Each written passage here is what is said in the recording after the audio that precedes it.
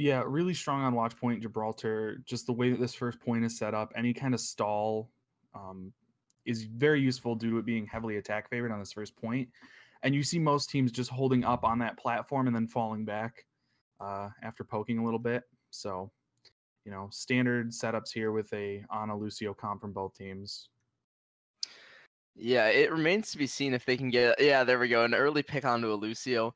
It can halt the offense just a little bit longer because Ana's not great at keeping a whole team up. But when you fall off on the Mei, maybe you can get picked Roadhog early with a three tank comp. They do land a hook. Not going to get the kill though. And separating Reinhardt out is pretty good. If they can bring him down, Strange going down means that there's only two tanks left and not enough damage to really bring down uh, the rest of the team. But they do get two. High Friends goes down. Roar, roar, roar is now on to the Reinhardt, and Swike gets hooked in as well. This Roadhog is landing some massive pulls, and it is working out beautifully. Yeah, that was an excellent offense from that team. You saw tons of hooks coming out and getting picks, and we saw roar, roar, roar on that uh, on that Reaper flanking, getting some picks. Yeah, it's just it, it is really working out. I mean, they've got the Gravitron uh, pull actually managing to land on three, but they don't actually have any ults to combo with it. So it's just a little bit more stall, and now Swike goes down as well. This is turning very, very bad very, very quickly. The first point inches away from being captured, and the only one to stall out is this Mei and the Shadowed Reaper right now. I don't think it's going to last very long, however, and it is a 6v1. They burst a Gravitron field even just to finish it off. Mm-hmm. Now, it was a very strong offense from that team. However, they did use a lot of ultimates. They've got they're down to just the Reinhardt. So it might be difficult moving into this, a very difficult point, point two on Watchpoint, extremely difficult to push through just due to the height differences. It's very difficult to get a get the high ground as offense. So we'll see how this pans out, but they're still playing very aggressive. Yeah, it's a I mean, at this point, it's been a very, very fast offense. I mean, they mm-hmm. spent what two minutes and they've already gotten through a whole point. So, oh yeah. At, at, at this, you got to say, you know, if you don't stop here, where do you really stop it? Because nano boosting um, is right around the corner again. You know that this Ana is going to be looking for something, and uh, the Reaper is going to be coming up pretty soon. Um, so yes, his ult's finally up. So with the mail coming down, that Big means that we might be able to see the Reaper finally. Reinhardt frozen to death. Is this Mei enough though? I don't think so because the nano boost is on for their own Roadhog, and a very big hog is going to go whole the way home. Ooh, but it doesn't matter. yeah. Um, I was honestly expecting that offense to pull it out there. That nano boosted Roadhog going triple hog there, you could even say, and it just didn't didn't really pan out. And that's the difficulty of taking this point is you can't really team wipe the defense because they're always split up. You know, some of them are high, some of them are low. No matter where you commit, there's always people who are gonna not get cleaned up. Oh, I mean, it's working out so far. The Graviton is pretty Graviton. big, and they've actually got some damage. I'm really surprised. This damage output is actually massive, even with the breaking it down. They can't survive very long. This offense is mm-hmm. getting stalled out at every single turn. Swike on that Reinhardt picking up multiple kills in this fight. He's just going in with that hammer. He doesn't care. Um, Zarya too. This defense's tank line is just so strong. UMass, um, these tanks are just cleaning everything up. And if Columbia doesn't find a way to push through that tank line, I don't think they're going to win. Now, Nano Boost Reaper coming up 40% for Ana, so that might work out for them. But we'll have to see. Two minutes on the clock. Yeah, this Roadhog, it was so, so good on the first point. I mean, it got multiple early picks, but now it seems to have mm-hmm. stagnated mm-hmm. a little. I mean, this Reinhardt's always up, everybody's behind the shield or on a massive flank like High Friends is right now. So he's not landing mm-hmm. the picks that he needs to. I think they need to either swap this pickup or they're going to see that it quickly turns into a very, very bad thing. Yeah, and the triple tank comp usually having issues breaking down Reinhardt shields, so we'll see what happens. No boosted nano boosted Reapers into the backline, but Mei is frozen by her own doing. She's still alive. The wall to separate them off to try and zone them off of the point, but it finally gets shoved in. They land four kills, five kills make that onto the Reinhardt. Mei, the only one to live through it all, and she's going to be brought down as well. Roar Roar making UMass's life hard as well as our lives hard when we have to say his name, getting four kills in that fight. Oh, an extremely aggressive, extremely forward Gravitron means that the Columbia side is actually going to get very, very far forward, giving them a lot of breathing room on this point. Still two minutes on the clock, still a lot of time left to play with, but Mhm. oh, this is getting down to the wire. Columbia, they have the shove, but can they actually make it? They've got only two, three more pushes left. Yeah, they've got a couple hits left, but uh, this choke point again very difficult. And Columbia being a very momentum-oriented team, as we've seen earlier, huge graviton. Oh no, out. there's no Reaper ult. Oh, Oh, the Gravitron. It looked so, so good, but there was no Reaper ult Oh. follow up. There's nothing to be done about it. Mail was not thrown down either, and the nano boosted Reinhardt is just not enough. Swike goes down. Faltazon takes one, but that's just a Lucio. They can only do so much against this Zarya, against this very big triple tank comp. and Swike on that Reinhardt going extremely hard there with that nano boost ends up dying without getting. I believe he killed the uh, he killed the Roadhog. However, if you look at how far he pushed that team back, that, that gives his team a huge amount of utility. And by the time they they get their nerves back up and push back up, you know he's back he's back alive. Yeah, right now though. Hi friends. He baits them into the mail. They got one frozen. They've got Lucio two. down. But I don't think they're gonna do much. They sleep the Reaper. He has ult though as soon as he comes back up, so they can stop this push. They can possibly stop one more push even. 50 seconds remains on the clock. hmm Yeah, if Columbia can't find a way to break UMass's Reinhardt, they're not going to take this point. And they've got maybe two good hits left in if they're quick. If they go in right now, they can get another hit in. They have to do something soon. The ults are starting to come up. They've got three. They can get a fourth up by the time they finish shoving it Reaper in. combo Reinhardt now. is ready. They've got a little bit more. They've got two Reaper ults charging onto the point, but this looks like it's all Columbia's fight. They've got three, four, and five. Hi, friends tries his best, but they get completely wiped off the card. Three left on the point now. All of the other team has respawned, so this is 3v6 until they get some support. So there's still a chance that the defense can pull it out here.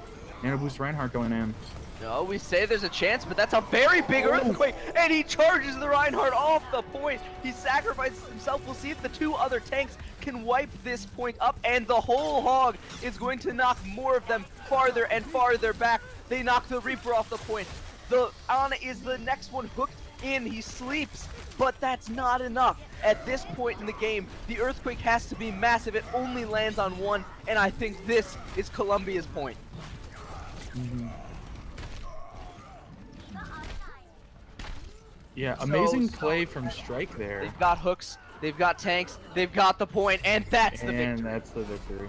So they did cap it, but they capped it in overtime. So what that's going to mean is that if the other team wants to win this one out, they're just to have to do it a little bit faster. You just get that in that point in one second quicker, and you take the win. So we'll see how this pans out, and I'm just kind of concerned about um, UMass's or I'm not. I don't remember if it was UMass or if it was Columbia, but when I was looking at their players' profiles, they only had one DPS player. I believe it was Columbia. Roar is their only DPS player. So they're, they're probably going to be running triple tank comps the entire game. And we'll see if UMass can uh, identify that and draft a comp that'll counter it. Well, Bastion, as your only Symmetra? DPS, it, it can put out enough, I think. I, I, I'm not, Uh, I think we're just getting trolled here, sir. I think don't so. Absolutely. They're they're making me sweat a bit. I don't know how to cast that. I'm not Um, familiar with the uh, the Torbjorn Bastion defense. I think the best way to cast it is to go full Slim Shady, but I'm not that good at rapping, so I won't even try. Genji on defense. Oh, Genji on offense. Okay, Genji there we go. Okay. Yeah, the team the team's not flipping up there in the top does set me off a couple times.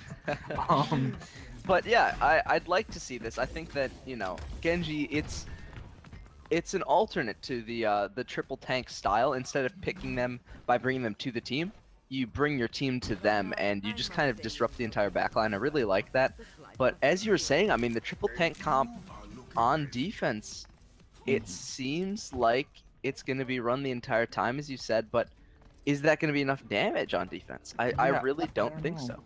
And I mean, Reaper obviously a very strong pick in this meta with the Ana boost, but is it really going to be able to break through a Reinhardt and a Zarya? Oh, is that an offensive Bastion? I believe that is an offensive Bastion from Cloister. And I- I like my offensive cart. Bastion. All right, well, we'll see how this pans out, but Offensive Bastion on this first point actually is very, very strong, especially against Roadhog in particular. He can burn him down with just four or five consecutive headshots, and Oh, that takes a fraction of a second. So it remains to be seen if they will actually even majorly contest this point. It's already halfway there. Strange's shield burning. Uh, as long as the Reinhardt shield from the offense holds, this is going to just keep moving in.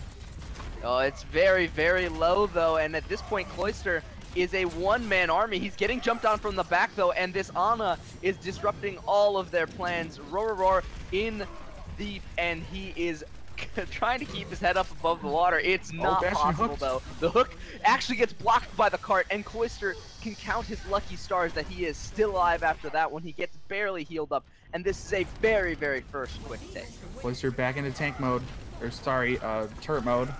Oh, the turrets 1v1 with the getting burned down, but that's a Zarya very, very fast Zarya. And the nano boost allows her to burn down one more target. The Graviton is big, it catches four, but they don't have enough to follow up the Genji.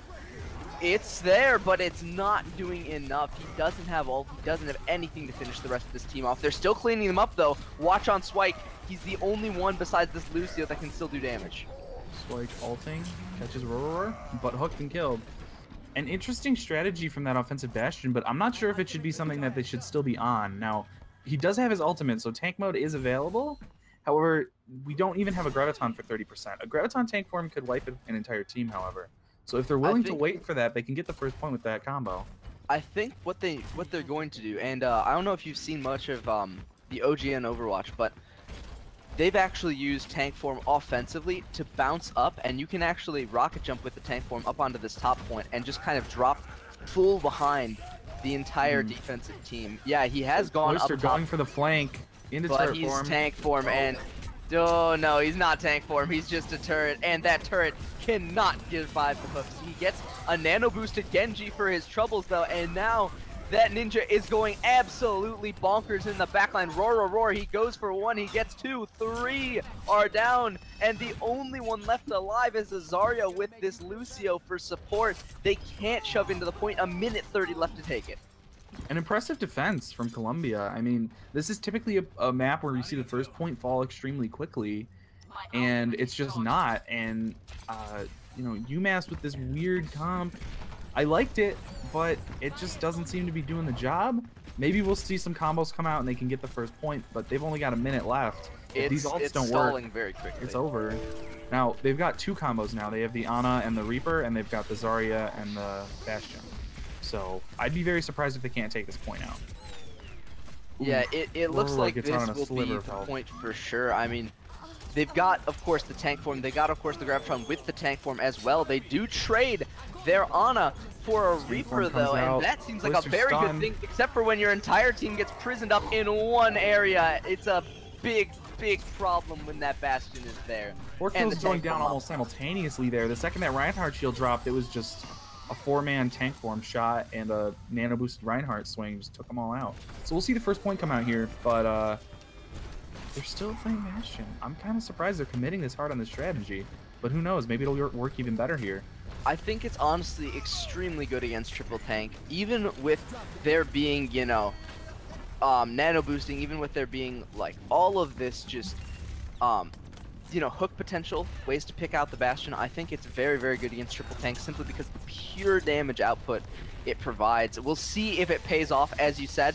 But right now, it seems to be working out and paying in spades, except for the Gravitron, brings him into three. Dropping it is not going to be enough to protect you from Roar, Roar, Roar. He goes absolutely massive, and Strange and himself clean up the entire team except for High Friends. hmm Yeah, very impressive defense there. Good combinations of those ults. Roar, roar, roar, using his. The rest of his team, however, other than that Graviton, saving it. You know, having used other other ultimates earlier in that fight, we saw a D drop come out, and um, I'll be interested to see if the offense here can get their their ultimates ready in time to take this. They've got a minute 40 UMass is he's sticking with the strat. Yeah, they're still sticking with this offensive bastion and tank form up. So Columbia reacting to it well with, by not peeking too long, but River Roar falls down. There's no DPS left for the defense here, and we'll see if mm-hmm. Bastion can make this work. No DPS, a whole hog is the only thing standing between them and ultimate destruction. The earthquake actually gets completely blocked and then turned on its head. Swike brings down two. That was a great charge. And Roar Roar, he's back up. He's on the Genji. But what can you do against a Zarya? She doesn't care if you're reflecting the shots. She's going to bring you down anyway. Yeah, and the issue with the triple tank comp being seen here, um, Roadhog kind of a pseudo DPS, but not really giving enough. When Roar goes down, it's pretty much a wipe. Actually. Cloister got slept in tank form, so he's going to get that entire thing wasted. Nano Boost Reaper, though, means that he's not going to get fully punished for it. No, that nano boost kind of coming out a little early, not super effective. Something you're going to need to push in on this next point. And from the defense, we see the Genji and the Ana combos both available. So we'll see if that gives them a team wipe and the, the space to hold this point. Two minutes on the clock. You know, this is the same comps through the entire time. Commitment from both teams means that this Genji will have to do so much work. He's nano boosted. He's got some, but can he find the rest? They've got the Bastion off of the cart, but they don't have the rest of their team focusing anybody. I mean, Roar Roar, he's in the backline, he's focusing Ana, but the drop the beat is still keeping her alive. They've got four members versus four. This cart still getting shoved in, minute 30 to play. Roar Roar's ultimate there, uh, the Dragon Blade, getting a very quick pick onto the enemy Bastion, but quickly falling into a Zarya trap and unable to get out. To Yeah, you on just that see. Cloister. He's set up. He gets pulled in though. Regalium brings him down. That was really interesting. Very, very close to this Reinhardt shield. And I think as of right now, it looks like uh, Columbia might be in uh, in a little bit of trouble. Yeah, I don't know. A lot of ults coming up from the offense here. We'll see if they can hold this. They do have their defensive ultimate available from that Lucio, and they have an offensive ult available from that Ana, but if UMass pulls out quickly here, it's a five-man Zarya bubble. Oh, the Reaper. It's nano boosted. It is enough damage. It looks like they've got everything that they came for, even with him getting slept. This is a team Six wipe, and it's just up to UMass. They're shoving the card in. Only a Tracer could get here in time. I don't think it's going to be enough. UMass pushing it in. Is the.